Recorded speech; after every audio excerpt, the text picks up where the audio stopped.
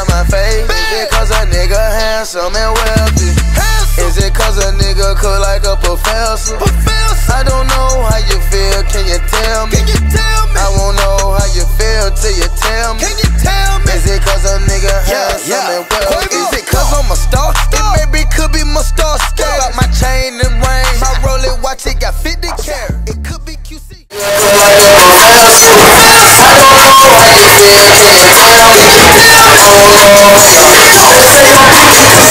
know how you feel, can you tell me? I won't know how you feel till you tell me. Is it cause a nigga handsome yeah. and wealthy? Quavo. Is it cause I'm a star? It maybe could be my star scale. Got my chain and ring, my Rolex